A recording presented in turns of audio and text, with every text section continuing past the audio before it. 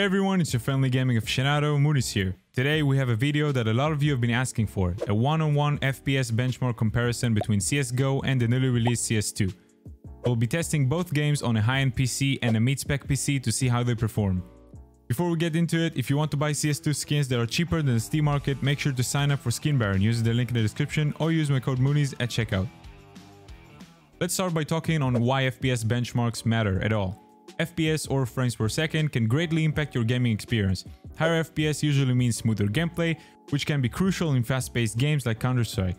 Even if you don't have the monitor to support those extra frames, more frames still provides a smoother experience due to making FPS drops be less significant. So let's see how CSGO and CS2 stack up. First up, we have CSGO running on a high-end gaming PC. Let's take a look at the benchmarks.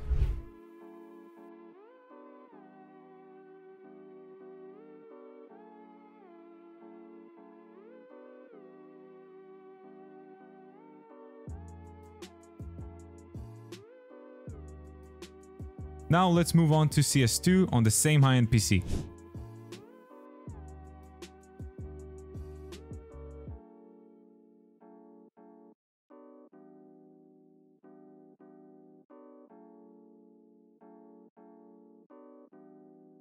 Alright, as you can see, the main difference is not so much for the max FPS, but rather the minimum FPS. In CS2 you get a lot of FPS drops, especially when it comes to watery areas. Now that we've seen how the games perform on a top tier system, let's lower our specs a bit and move on to a mid-spec PC, starting with CSGO.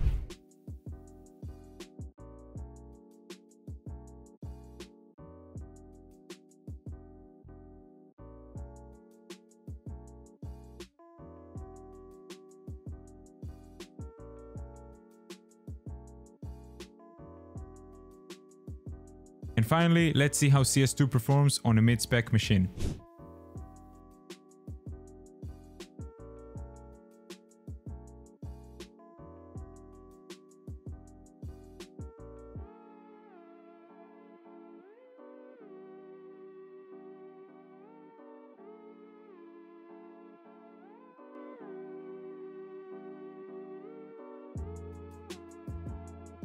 Clearly, CS2 takes a lot more computing power to run smoothly. Whether you're running a high-end machine or a more budget-friendly setup, CS2 has a long way until it is optimized correctly. What do you guys think? Let me know in the comments below.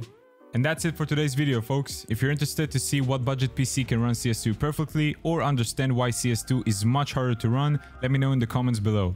Don't forget to like, subscribe and hit that notification bell for more awesome content. As always, play smart, invest smarter. This is Moooniz, signing off.